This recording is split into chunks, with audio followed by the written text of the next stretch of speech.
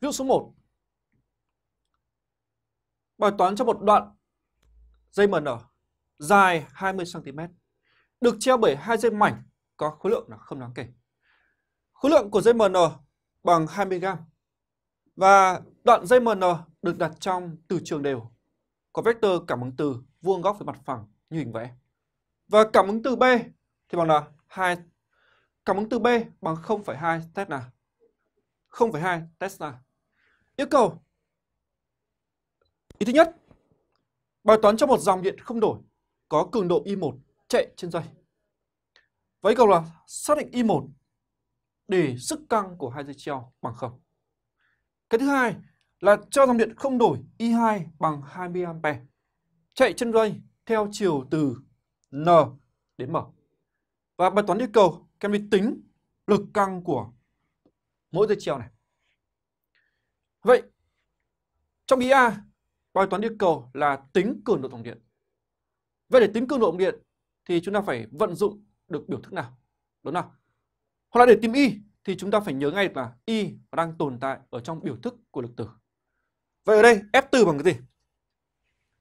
Trong biểu thức của lực từ thì các bạn thấy là F từ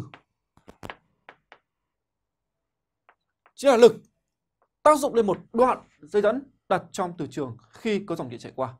Và F từ bằng B I L nhân với sin của alpha. Dựa vào hình vẽ, các em thấy rằng các đường sức từ đang đâm vuông góc với mặt phẳng chứa dây dẫn nên góc tạo bởi giữa vector cảm ứng từ B và chiều dòng điện là bằng 90 độ.